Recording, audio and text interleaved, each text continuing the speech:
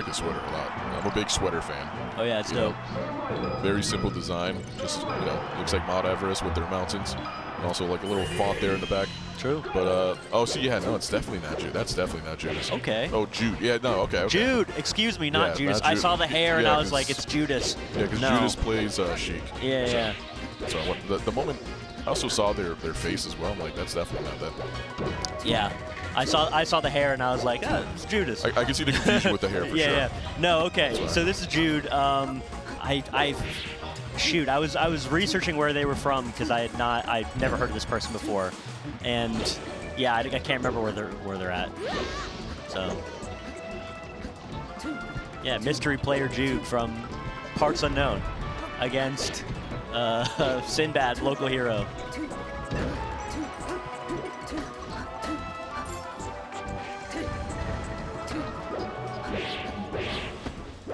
Almost looking like Jude was uh, trying to see the response coming from Sinbad with the uh, unpredictable counter there.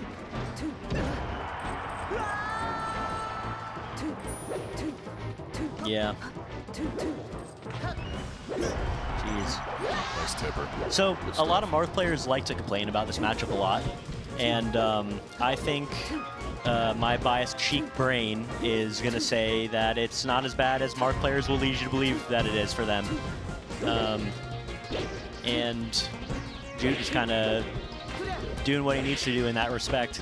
A big part of what I think Marth does well in this matchup and the advantages that Marth has uh, is allowing you greater mobility with your dash dance. And uh, Jude's been doing a great job using that tool. It was Sinbad right now, not looking too hot.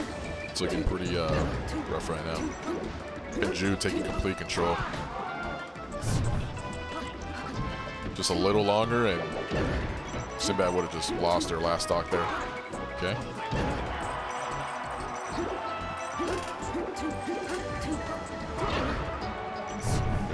Finally. Yeah, yeah, yeah. This is a doable comeback for Sinbad to make, but this is, you know, a full stock up when you're in this position is not easy or good. Yeah, no kidding. Uh, Jude taking, honestly, a good amount of percentage, but just when I said that,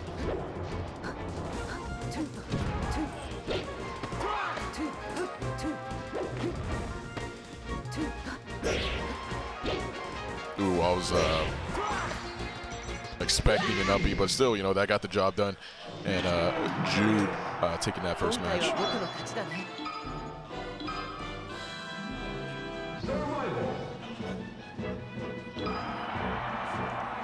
So Battlefield, where to go next? Hmm. Back to Battlefield, that's acceptable, that's reasonable.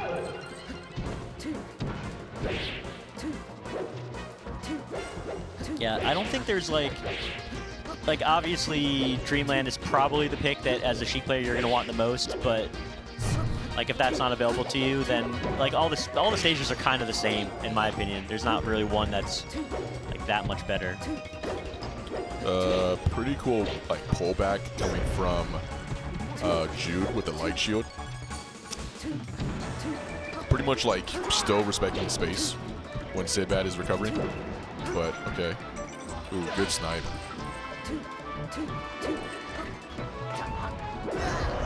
We'll go right back at you. Okay.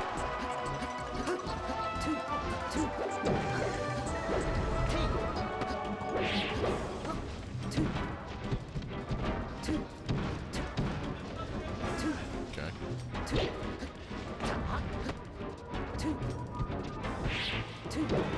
Sheik, pretty. Know, I'm starting to notice now. Sheik a pretty crazy crouch. Oh yeah, dude. Sheik's crouch is. Uh, she can low pro basically like everything. It's crazy. It's very funny also too. Uh, she can low profile uh, Oh. Captain Falcon's grab. They love it when you do that, by the way. If you want to make friends with Captain Falcon players, pick Sheik and low profile their grab. They'll definitely invite you to play again.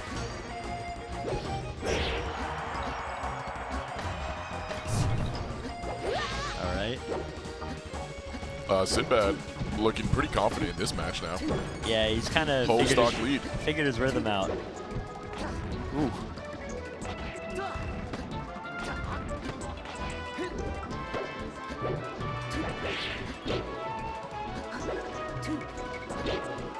Ooh, not the right time to land there in the center. Okay. Oh, good patience coming from uh, Jude there. Fishing, just just pretty much fishing. A, li- a little bit. And will this be the... There, yeah, that's it. Game three. That was solidly sided for Jude, game one. So equally sided for Sinbad, game two, on the same stage. I don't know what to think of that. I don't know what to make of that. It's anyone's game at this point. Pokemon Stadium, okay. That ledge grab coming from Sinbad was so slick. Oh yeah. And Jude was literally with the red carpet pulled underneath.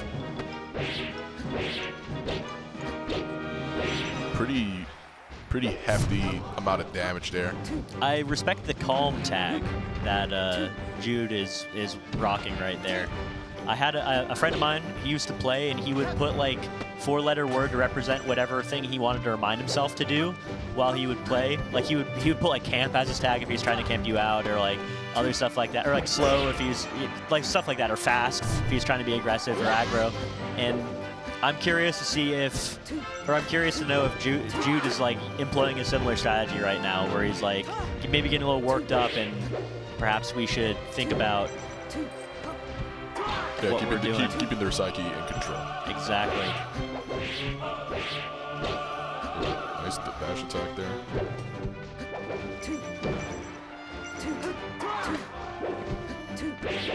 Oh, okay. That was That's strange. That was Not the cringe. no, I said strange, Oh, not cringe. yeah. but it was a little cringe. Still pretty funny, yeah. Phan- Phantom hits can definitely be cringe for sure. Yeah, they're, You know? they're for sure. That might be one of the most cringe parts of Melee. I, I won't lie. Yeah. This is pretty cringe right here. I, the stadium God. transformations, super cringe. I could definitely despise this moment for sure.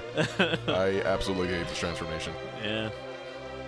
Uh, Which one do you think is worse, the rock one or the burning forest one? Cliffside is easily easily the worst transformation. Cliffside for sure. Cliffside? I cannot stand Cliffside. Yeah, yeah. That's truly the most cringe. Like the windmill one is like acceptable. It's not bad. I, I don't think it's bad at all. The jungle one is fine. Like the forest one is fine. Also, I was gonna tell you. Also, like when it comes to the transformation, transformations, uh, it really depends on like how confident the player is. You know, some players are just like really passive and they don't want to be aggressive with like a specific transformation, and then the other player is more aggressive, right? Really Yeah. showing their their individual uh, mental state. I know there's like the situations where you can just like fall through the floor on the the burning uh, the burning one. Oh yes, yes, yeah. just the, like the bug in that transformation. yeah, yeah. I think I've only commentated that once, and I think it was like at an older uh, CEO event. Sure, sure. I, think I, I could have sworn it was like S2J with like another player, but I do remember one of them like falling in the middle. Yeah. that was insane. Like I was lost in words. Like I couldn't really comprehend what the hell just happened.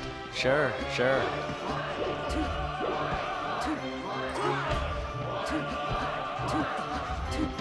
No, it's Jude, Jude is looking good right now. Oh my god. Hey, look, speak of the devil, Cliffside. Freaking Yeah. Cliffside, dude. so full stock lead for Jude right here. There's a giant rock just giving us all the middle finger. Yeah. See, now, I mean, you might as well just wait. Yeah. Like, there's no reason Jude is going to be pushing towards him. Ooh, the forward. Do you think he meant to do the up smash? 15%? I don't know, but it got him the percentage. Yeah, and, and it- look, and the knockdown, and now it's might be the stock. wow. Ooh, okay. A little too far from the uh, pit there. Here we go. This is when Jude is going to be sharking for that type of hero the grab. True. Okay. Questionable recovery here, and uh, Sinbad taking full control here. Yeah. Yeah. You, you can't do that. Sinbad's going to take that inch and, and run it for a mile. Yeah, even Sinbad looking pretty surprised by that stock, actually. And you're owned, actually. Uh, Yeah. there there Yeah. is. Good stuff. Jude is moving on. Sinbad is out. And uh, yeah. I think the uh, sweater aesthetic is it's powerful. low key. I think I think it's like an underrated apparel for sure when it comes to smash events. Especially like here in Florida where we've got like a million percent humidity at all times. You gotta that's a that's a choice to go out in the sweater, you know. Yeah. So. I mean, I'm one of those characters yeah. to where um, it can be like around what, like 80 to 90 degrees outside, and you'll see me with a sweater, and you'll question my existence and say, "What is wrong with this guy? yeah. What's, like what's, what is what's going wrong on with that dude?